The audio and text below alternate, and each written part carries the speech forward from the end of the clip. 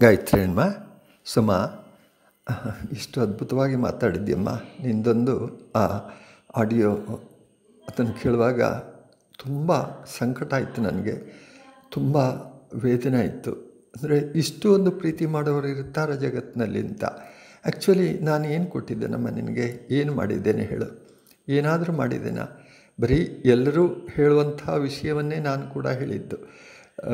ದೇವರ ಕಡೆಗೆ ಹೋಗುವ, ದೇವರನ್ನು ನಂಬುವ, ದೇವರಿಗೆ ಶರಣಾಗುವ, ದೇವರನ್ನು ಎಷ್ಟೊತ್ತಿಗೂ ಪ್ರತಿಯೊಂದು ವಿಷಯದಲ್ಲಿಯೂ ಭಗವಂತನನ್ನು ನಾವು ಸೇರಿಸಿಕೊಳ್ಳುವ ಅಂಥೇಳಿ ನಾನು ನಿನಗೆ ಹೇಳಿದ್ದಷ್ಟೇ ವಿನಃ ಬೇರೆ ಏನಾದರೂ ಅದ್ಭುತವಾದ ವಿಷಯಗಳನ್ನು ಏನಾದರೂ ಹೇಳಿದ್ದುಂಟ, ಬರೀ ಭಗವಂತನ ವಿಷಯ ಹೇಳಿದ್ದು. ನೀನು ಸಣ್ಣದಿಂದಲೂ ಬರ್ತಾ ಇದ್ದಾಗಲೂ ಹೇಳಿದ್ದನ್ನೇ ಪ್ರತಿ ಸಲವೂ ಅದನ್ನೇ ಪುನಃ ಪುನಃ ಉದ್ಧರಿಸ್ತಾ ಹೋಗ್ತಾನೆ, ಅದನ್ನೇ ಪುನಃ ರಿಪೀಟ್ ಮಾಡ್ತಾ ಹೋಗ್ತಾನೆ. ಆದರೂ ನೀನು ಎಷ್ಟು ಹಚ್ಚಿಕೊಂಡಿದ್ಯಮ್ಮ ಎಂಥ ಒಂದು ಬಾಂಧವ್ಯ, ಎಷ್ಟೋ ಜನ್ಮಗಳ ಒಂದು ಋಣಾನುಬಂಧ ಇದ್ದ ರೀತಿಯಲ್ಲಿ ನೀನು ಆ ರೀತಿ ಒಂದು ಪ್ರೀತಿಯನ್ನು ಅನುಭವಿಸಿ ನನ್ನನ್ನು ಎಣಿಸಿಕೊಂಡು ಆನಂದ ಬಾಷ್ಪ ಅಂತ ನೀನು ಹೇಳ್ತಿ, ಆಗಿರ್ಬೋದು.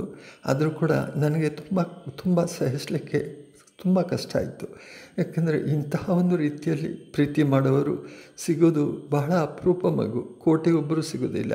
ಯಾಕೆ, ನಾನು ಎಲ್ಲರಿಗೂ ಸಾಕಷ್ಟು ಪ್ರೀತಿ ಕೊಡ್ತೇನೆ. ನನ್ನ ಹೃದಯ ತುಂಬಿ ನನ್ನನ್ನೇ ದಾರೆ ಎರೆದು ಕೊಡ್ತೇನೆ. ಪ್ರತಿಯೊಬ್ಬರಿಗೂ ಯಾರೆಲ್ಲ ಇಲ್ಲಿ ಗಾಯತ್ರಿಯ ಸಾನ್ನಿಧ್ಯಕ್ಕೆ ಬಂದು ಅವಳ ಪಾದಕ್ಕೆ ಶರಣಾಗ್ತಾರೋ ಪರ ಮಾಡುತ್ತಾರೋ ಅವರೆಲ್ಲರಿಗೂ ನನ್ನನ್ನು ನಾನು ಒಪ್ಪಿಸಿಕೊಳ್ತೇನೆ. ಯಾಕೆಂದರೆ ಪ್ರತಿಯೊಬ್ಬರೂ ಕೂಡ ಆ ಅದ್ಭುತವಾದ ದಾರಿಯಲ್ಲಿ ಸಾಗಬೇಕು, ಅನಂತ ಸುಖವನ್ನು ಪಡಿಬೇಕು, ಆನಂದಮಯವಾಗಿ ಬದುಕಬೇಕು. ಯಾಕೆಂದರೆ ಒಂದು ಸುಖಕ್ಕೆ ಹತ್ತಾರು ದುಃಖಗಳಿರ್ತವೆ ಈ ದುಃಖಕ್ಕೆ ನಾವು ಬಲಿಯಾಗಬಾರ್ದು, ನಮ್ಮ ಜೀವನವನ್ನು ವ್ಯರ್ಥ ಮಾಡಿಕೊಳ್ಳಬಾರ್ದು.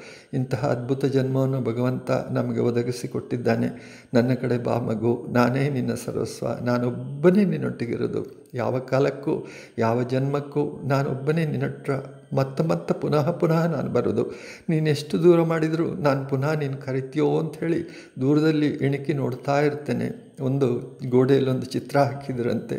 ಆ ಚಿತ್ರದಲ್ಲಿ ಒಂದು ಬಾಗಿಲು ಬಡಿಯುವಂಥ ಕೈಯಂತೆ. ಆ ಕೈ ಬಾಗಿಲು ಬಡಿತಾ ಉಂಟಂತೆ. ಆವಾಗ ಆ ಚಿತ್ರಕಾರನನ್ನು ಕರೆದು ಯಾರೋ ಒಬ್ಬ ಕೇಳಿದಂತೆ, ಇದೇನು ಅಂತ? ಆವಾಗ ಅವ ಹೇಳಿದಂಥ ಬಡಿತಾ ಇರುವಂಥ ಕೈ ಉಂಟಲ್ಲ, ಅದು ಭಗವಂತ ಅಂತ. ಯಾಕೆಂದರೆ ನಮ್ಮ ಹೃದಯದ ಬಾಗಿಲನ್ನು ತಡ್ತಾ ಇದ್ದಾನೆ. ಮಗು, ನಾನು ಬರ್ತಾ ಇದ್ದೇನೆ ನಿನ್ನೊಳಗೆ. ನಾನು ನಿನ್ನ ರಕ್ಷಣೆಯನ್ನು ಮಾಡಲಿಕ್ಕೆ ನಿನ್ನನ್ನು ಉದ್ಧಾರ ಮಾಡಲಿಕ್ಕೆ ನಾನು ಬರ್ತೇನೆ. ಬಾಗಿಲು ತೆಗಿ ನಾವೇನಿಲ್ಲ, ಮುಸುಕು ಹಾಕಿ, ಯಾರೂ ಕರಿಬಾರ್ದು ಅಂತ ಕಂಡಿ ಬಾಗಿಲೆಲ್ಲ ಹಾಕಿ ಬಾಗಿಲೆಲ್ಲ ಹಾಕಿ, ಅದಕ್ಕೆ ಬೇಕಾದಷ್ಟು ರೀತಿಯ ಸಂಕೋಲಗಳನ್ನೆಲ್ಲ ಕಟ್ಟಿ, ಬೀಗ ಹಾಕಿ, ಬೀಗ ಜಡದು, ಬೀಗದ ಕೈಯನ್ನು ಬಿಸಾಟ್ಬಿಟ್ಟಿದ್ದೇವೆ ಆದರೆ ಭಗವಂತ ಬಂದು ಆ ಬೀಗದ ಕೈಯನ್ನು ಹುಡುಕಿ ತಂದು ಆ ಬೀಗದ ಕೈಯಲ್ಲಿ ಕೈ ಇಟ್ಟು ಮಗು, ನೀನೊಂಚೂರು ಮುಟ್ಟು, ಎಲ್ಲ ನಾನು ಮಾಡ್ತೇನೆ. ನೀನೊಂಚೂರು ನಿನ್ನ ಕೈಯನ್ನು ಮುಟ್ಟಿಸು ನಿನ್ನ ಮನಸ್ಸಿನಲ್ಲಿ ನನ್ನ ಬಗ್ಗೆ ಭಾವನೆ ಇರಲಿ ಅಂತ ಹೇಳಿ ಭಗವಂತ ಹೇಳ್ತಾನೆ. ಎಂಥ ಒಂದು ಕೃಪಾಮಯ ದೃಷ್ಟಿ ನೋಡಿ, ಎಂಥ ಒಂದು ಕೃಪೆ ಭಗವಂತನದ್ದು. ಅಂತಹ ಭಗವಂತನನ್ನು ನಾವು ಕಳ್ಕೊಂಡು ಬರೀ ಪ್ರಾಪಂಚಿಕ ವಿಷಯಗಳಿಗೆ ನಮ್ಮನ್ನು ತೊಡಗಿಸಿಕೊಂಡು, ಅದರಲ್ಲೇ ಆಸೆ ಕೊನೇ ಇಲ್ಲದಂಥ ನಮ್ಮ ಬೇಡಿಕೆಗಳು ಎಂಡ್ಲೆಸ್ ಡಿಮಾಂಡ್ಸ್ ಇದನ್ನೇ ಹಿಡ್ಕೊಂಡು ಭಗವಂತನನ್ನು ನಾವು ದೂರ ಮಾಡ್ತಾ ಇದ್ದೇವೆ. ಪ್ರತಿಯೊಂದು ನಿಮಿಷ ನಿಮಿಷಕ್ಕೂ ನಾವು ಭಗವಂತನಿಂದ ದೂರ ಆಗ್ತಾ ಇದ್ದೇವೆ. ಇಂತಹ ಅದ್ಭುತವಾದ ಒಂದು ಜನ್ಮವನ್ನು ಭಗವಂತ ನಮಗೆ ಒದಗಿಸಿಕೊಟ್ಟಿದ್ದಾನೆ ಅದಕ್ಕೆ ಬೇಕಾದ ಸಂಸ್ಕಾರವನ್ನು ಕೊಟ್ಟಿದ್ದಾನೆ. ಅದಕ್ಕೆ ಬೇಕಾದಂತಹ ಎನ್ವೈರ್ಮೆಂಟು ಅದನ್ನು ಕೂಡ ಒದಗಿಸಿಕೊಟ್ಟಿದ್ದಾನೆ. ಆದರೂ ಕೂಡ ನಾವು ಅದನ್ನೆಲ್ಲ ಬಿಟ್ಟು ನನಗಿದು ಯಾವುದೂ ಬೇಡ ಅಂಥೇಳಿ ಎಲ್ಲಿವರೆಗೆ ಅಂತ ಹೇಳಿದರೆ ಭಗವಂತ ನಮಗೆ ಒಂದು ದೇಹ ಕೊಟ್ಟಿದ್ದಾನೆ, ಇದೊಂದು ದೋಣಿ ಇದ್ದ ಹಾಗೆ. ಅದಕ್ಕೊಂದು ಹಾಯಿ ಕಟ್ಟಿಕೊಟ್ಟಿದ್ದಾನೆ. ಆ ಹಾಯಿ ಅಂತ ಹೇಳಿದರೆ ಭಕ್ತಿ. ಆ ತಂಗಾಳಿ ತಾನೇ ಬೀಸ್ತಾ ಇದ್ದಾನೆ. ನಾವೇನು ಮಾಡಬೇಕಾದ್ದಿಲ್ಲ. ಆ ಬಟ್ಟೆಯನ್ನು ಬಿಡಿಸಿ ನಮಗೆ ಭಗವಂತನ ಕಡೆಗೆ ಕರ್ಕೊಂಡು ಹೋಗೋದು ಅವನೇ ಮಾಡ್ತಾನೆ. ಬರೀ ನಾವು ಮಿಚ್ಚಿದರೆ ಸಾಕು ಅಷ್ಟೇ.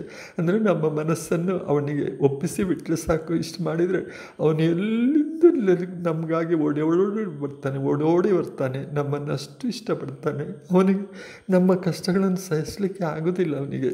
ಕಷ್ಟ ಆಗ್ತದೆ ತುಂಬ ದುಃಖ ಪಡ್ತಾನೆ ತುಂಬ ನೋವುಕೊಳ್ತಾನೆ ತುಂಬ ನೊಂದುಕೊಳ್ತಾನೆ ಮಗು, ಇಷ್ಟು ಮಾಡಿದರೂ ನನ್ನ ಕಡೆ ತಿರುಗುದಿಲ್ಲಲ್ಲ. ನನ್ನ ಹತ್ರ ಇರೋದು ಸುಖ.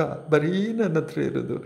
ಆನಂದಮಯ ಸ್ಥಿತಿ ಅಂತ ಹೇಳೋದು ನನ್ನ ಹತ್ರ ಮಾತ್ರ ಇರೋದು. ಬೆಳಕಿನ ಆ ಒಂದು ಬ್ರಹ್ಮಾನಂದದ ಸ್ಥಿತಿ ನನ್ನಲ್ಲಿ ಮಾತ್ರ ಇರೋದು. ಇಷ್ಟು ನಾನು ಪ್ರಯತ್ನ ಪಟ್ಟರೂ ಕೂಡ ಈ ಮಗು ನನ್ನ ಕಡೆಗೆ ತಿರುಗುದಿಲ್ಲ. ಅವನ ಅನುಗ್ರಹ ಎಷ್ಟು ಅಂತ ಹೇಳಿದರೆ ಪ್ರತಿಯೊಂದು ಅವತಾರದಲ್ಲಿ ಕೂಡ ಸ್ಪಷ್ಟವಾದ ಭರವಸೆ ಭಗವಂತ ಭಕ್ತನಿಗೆ ಕೊಡ್ತಾನೆ. ನಾನಿದ್ದೇನೆ ಮಗು, ಮನ್ಮನ ಮದ್ಭಕ್ತ, ಮದ್ಯಾಜಿ, ಮಾಂ ನಮಸ್ಕುರು, ಮಾಮೈ ಪಶ್ಯಸಿ ಪಶ್ಯಂತ. ಇದು ಭಗವದ್ಗೀತೆಯಲ್ಲಿ ಹೇಳುವಂಥ ಶ್ಲೋಕ. ನನಗೆ ನಮಸ್ಕಾರ ಮಾಡು, ನನ್ನನ್ನು ನಂಬು, ನನ್ನ ಕಡೆಗೆ ತಿರುಗು, ನನ್ನನ್ನೇ ಸರ್ವಸ್ವ ಅಂತ ಎಣಿಸ್ಕೊ. ನಿನಗೇನು ಕಷ್ಟ ಆಗೋದಿಲ್ಲ, ಜೀವನದಲ್ಲಿ ಏನೇನು ಕಷ್ಟ ಬರೋದಿಲ್ಲ ಒಂದು ಸಲ ನನ್ನನ್ನು ನಿನ್ನ ಹೃದಯದಲ್ಲಿ ಸ್ಥಾಪ, ಸ್ಥಾನ ಕೊಡು, ನನ್ನನ್ನು ಅಲ್ಲಿ ಪ್ರತಿಷ್ಠೆ ಮಾಡು. ಆವಾಗ ನೀನು ಎಷ್ಟು ಆನಂದಮಯ ಜೀವನವನ್ನು ಬದುಕ್ಬೋದು ಅಂತ. ಎಲ್ಲಿವರೆಗೆ ಅಂದರೆ ಪುರಂದರದಾಸರು ತಮ್ಮ ಅವರಿಗೆ ಜ್ಞಾನೋದಯ ಆದ ನಂತರ ಹೆಂಡತಿ ಮೂಲ, ಮೂಲಕ ಜ್ಞಾನೋದಯ ಆದ ನಂತರ ತನ್ನ ಸಂಪತ್ತನ್ನೆಲ್ಲ ಸಿಕ್ಕಿದವರಿಗೆ ದಾನ ಮಾಡಿ ಹೋಗ್ತಾರೆ. ಅದಕ್ಕೆ ಮುಂಚೆ ಮಕ್ಕಳನ್ನೆಲ್ಲ ಕರೆದು ಹೇಳ್ತಾರೆ. ಮಕ್ಕಳೇ ನಾನು ನಿಮಗೆ ಬೇಕಾದರೆ ಬಿಟ್ಟು ಹೋಗ್ತೀನಿ ಇದನ್ನು. ನೀವು ಬೇಕಾದರೆ ಇದನ್ನು ಅನುಭವಿಸ್ಕೊಂಡು ಆನಂದವಾಗಿರಿ ಅಂತ ಹೇಳ್ತಾರೆ. ಅದಕ್ಕೆ ಆ ಮಕ್ಕಳು ಹೇಳ್ತಾರೆ, ಅಪ್ಪ, ನಿಮಗೆ ಬೇಡದ ಸಂಪತ್ತು ನಮಗೆ ಯಾಕೆ ಬೇಕು ಅಂತ? ಆವಾಗ ಪುರಂದರದಾಸರು, ನಮ್ಮೊಟ್ಟಿಗೆ ಬನ್ನಿ ಹಾಗಿದ್ರೆ ಅಂತ ಕರ್ಕೊಂಡು ಹೋಗ್ತಾರೆ. ಎಲ್ಲಿವರೆಗೆ ಅಂತ ಹೇಳಿದರೆ, ಒಬ್ಬ ಎಲ್ಲವನ್ನೂ ಬಿಟ್ಟವ, ಎಲ್ಲವನ್ನೂ ತ್ಯಾಗ ಮಾಡಿದವ ಹೆಂಡತಿನ ಕರ್ಕೊಂಡು ಕಾಡಿಗೆ ಹೋಗ್ತಾ ಇರ್ತಾನೆ. ಆವಾಗ ಅವನು ಒಂದು ಚಿನ್ನದ ನಾಣ್ಯ ಅವನಿಗೆ ಕಾಣಲಿಕ್ಕೆ ಸಿಗ್ತದೆ. ಅದನ್ನು ಕಾಲಿನಲ್ಲಿ ಮಣ್ಣು ಅದರ ಮೇಲೆ ಹಾಕ್ತಾನೆ. ಯಾಕೆ ಅಂತ ಹೇಳಿದರೆ, ಎಲ್ಲಾದರೂ ಹೆಂಡತಿ ಅದನ್ನು ನೋಡಿ ಎತ್ತಿಕೊಂಡು ಬರ್ತಾಳು ಅಂತ ಆವಾಗ ಆ ಹೆಂಡತಿ ಕೇಳ್ತಾಳೆ, ಅದು ಎಂತ ಮಾಡಿದ್ನೇವು? ಅಂತ. ಅದು ಚಿನ್ನದ ನಾಣ್ಯ. ನೀನೆಲ್ಲಾದರೂ ಎತ್ಕೊಂಡು ಬರ್ತೀಯ ಅಂಥೇಳಿ ನಾನು ಅದ್ರ ಮೇಲೆ ಮಣ್ಣು ಹಾಕಿದೆ ಅಂತ. ಅಯ್ಯೋ, ನಿಮಗೆ ಅದು ಇನ್ನೂ ಚಿನ್ನ ಅಂತ ಹೇಳುವ ಭಾವನೆ ಉಂಟಾ? ನನಗೆ ಅದು ಚಿನ್ನ ಅಂತಲೇ ಗೊತ್ತಿಲ್ಲ. ಆ ರೀತಿಯಲ್ಲಿ ನಾನು ಭಗವಂತನ ಕಡೆಗೆ ತಿರುಗಿದ್ದೇನೆ. ಪ್ರಾಪಂಚಿಕ ಮೆಟೀರಿಯಲ್ ಕಾಂಫರ್ಟ್ಸನ್ನು ಅಷ್ಟು ನಾನು ತ್ಯಾಗ ಮಾಡಿದ್ದೇನೆ, ಬಿಟ್ಟು ಬಿಟ್ಟಿದ್ದೇನೆ. ಅದರ ನೆನಪೇ ನನಗೆ ಬರೋದಿಲ್ಲ. ನಿಮ್ಗೆ ಯಾಕೆ ನೆನಪಿಗೆ ಬಂತು ಅಂತ ಹೀಗೆ ಪುರಂದ್ರದಾಸರು ಹಾಗೆಂತ ಪುರಂದ್ರದಾಸರ ಹೆಂಡತಿ ಒಂದು ಚಿನ್ನದ ತಂಬಿಗೆಯನ್ನು ಹಿಡ್ಕೊಂಡು ಬಂದಿದ್ರಂತೆ ಎಲ್ಲಿಯಾದರೂ ಅಗತ್ಯಕ್ಕೆ ಬೇಕಾದರೂ ಉಪಯೋಗ ಮಾಡುವಂತ ಅವಾಗ ಪುರಂದರಾಸರ ದಾರಿಯಲ್ಲಿ ಕೇಳ್ತಾರಂತೆ, ಇದು ಯಾಕೆ ತಗೊಂಡು ಬಂದಿ? ಅಂತ. ಅದಕ್ಕೆ ಎಲ್ಲಾದರೂ ನಮಗೆ ಏನಾದರೂ ಅವಮಾನ ಆಗುವ ಅಥವಾ ಕಷ್ಟದ ಸಮಯ ಬಂದಾಗ ಇದನ್ನು ನಾವು ಉಪಯೋಗ ಮಾಡ್ಬೋದಲ್ಲ ಅಂತ ಹೇಳಿ ಹೇಳಿದ್ದಕ್ಕೆ ಅದಕ್ಕೆ ಹೇಳ್ತಾರಂತೆ ತಗೊಂಡು ಅದನ್ನು ತಗೊಂಡು ತೆಗೆದು ಬಿಸಾಡ್ತಾರಂತೆ. ಇಂಥ ಒಂದು ಅದ್ಭುತವಾದ ಒಂದು ಜೀವನವನ್ನು ನಾವು ಹಿಂದಿನವರಲ್ಲಿ ಕಾಣ್ತೇವಮ್ಮ ರಾಮಕೃಷ್ಣ ಗುರು, ಗುರುಗಳು ಹಾಗೆ ರಾಮಕೃಷ್ಣ ಪರಮಹಂಸರು. ಅವರು ಕೂಡ ಹಾಗೆ ಮಣ್ಣು ಮತ್ತು ಚಿನ್ನ, ದುಡ್ಡನ್ನು ಎರಡನ್ನೂ ತಗೊಂಡೋಗಿ ಬಾವಿಗೆ ಹಾಕ್ತಾ ಇದ್ರಂತೆ. ಈ ರೀತಿ ನಮ್ಮನ್ನು ನಿರಂತರ ಹಚ್ಚಿಕೊಂಡು ನಮ್ಮ ಮೇಲೆ ಎಲ್ಲವನ್ನೂ ಆಸ, ಆಶಾಭಾವನೆಯನ್ನು ಇಟ್ಟುಕೊಂಡು ಭಗವಂತ ನಮ್ಮ ಹಿಂದೆ ಹಿಂದೆ ಹಿಂದೆ ಹಿಂದೆ ಬರ್ತಾ ಇದ್ದಾನೆ ನಾವು ಎಷ್ಟು ದೂರ ಮಾಡಿದರು. ಅವನು ಮತ್ತು ಪುನಃ ಪುನಃ ಪುನಃ ಪುನಃ ನಮ್ಮೊಟ್ಟಿಗೆ ಬರ್ತಾನೆ. ಯಾಕೆಂದರೆ ಅವನಿಗೆ ಹೇಗಾದರೂ ಮಾಡಿ ಈ ಮಗುವನ್ನು ಉದ್ಧರಿಸಬೇಕು. ಈ ಮಗುವನ್ನು ನನ್ನದಾಗಿಸಿಕೊಳ್ಬೇಕು, ಈ ಮಗುವಿಗೆ ನನ್ನ ಪಾದದಲ್ಲಿ ಸ್ಥಿರ ಸ್ಥಾನ ಕೊಡಬೇಕು ಅಂತ. ಇಂಥ ಒಂದು ಕರುಣಾಮಯ ಭಗವಂತ, ಎಂಥ ಒಂದು ದಯಾಮಯ, ಆ ಹೃದಯ ಹೇಗಿರ್ಬೋದು ಅಂತ ಹೇಳು. ಹಾಗಿದ್ರೂ ಕೂಡ ನಾವು ಅದನ್ನು ರೆಫ್ಯೂಸ್ ಮಾಡಿ ಭಗವಂತನ ಕಡೆ ಹೋಗಲಿಕ್ಕೆ ನಿರಾಕರಣೆ ಮಾಡ್ತೇವೆ. ಪ್ರಾಪಂಚಿಕ ಸುಖವೇ ಎಲ್ಲೋ ಅಂತ ಹೇಳಿ ಎಂದುಕೊಳ್ತೇವೆ. ಇದ್ರ ಸುಖ ಅಲ್ಲ. ಇಷ್ಟು ನಾನು ಹೇಳಿದ್ದು ಇಷ್ಟು ಮಾತ್ರ ಮಗು, ನಿನಗೆ ಮತ್ತೆಂತ ಹೇಳಿದ್ದೇನೆ ಆದರೂ ಕೂಡ ನೀನು ಯಾಕೆ ಇಷ್ಟು ನನ್ನನ್ನು ಪ್ರೀತಿ ಮಾಡ್ತೀಯಮ್ಮ ಯಾಕೆ? ಏನು ಏನು ಏನು ಕೊಟ್ಟಿದ್ದೇನೆ ಹೇಳು ನಾನು ನಿನಗೆ? ಏನಿಲ್ಲ, ಏನೇನು ಕೊಡಲಿಲ್ಲ. ಕೆಲವರು ಹೇಳ್ಬೋದು ನನ್ನನ್ನು ಹುಚ್ಚ ಅಂತ. ಖಂಡಿತವಾಗಿ ನನಗೆ ಹುಚ್ಚು ಹಿಡಿದಿದೆ. ಭಗವಂತ ಪುರಂದರಾಸರು ಹೇಳಿದಂಥ ಹುಚ್ಚು ಹಿಡಿಯಿತು, ನನಗೆ ಹುಚ್ಚು ಹಿಡಿದು, ನನಗೆ ನಿಜವಾಗಿ ದೇವರ ಹುಚ್ಚು ಹಿಡಿದಿದೆ. ಈ ಹುಚ್ಚನ್ನು ಎಲ್ಲರಿಗೂ ಅಂಟಿಸುವ ಅಂತ ಹೇಳಿ ಕಾಣ್ತಾ ಉಂಟು. ಯಾಕಂದರೆ ಇದು ಒಳ್ಳೆ ಹುಚ್ಚು, ಈ ಹುಚ್ಚು ಬೇಕು ನಮಗೆ.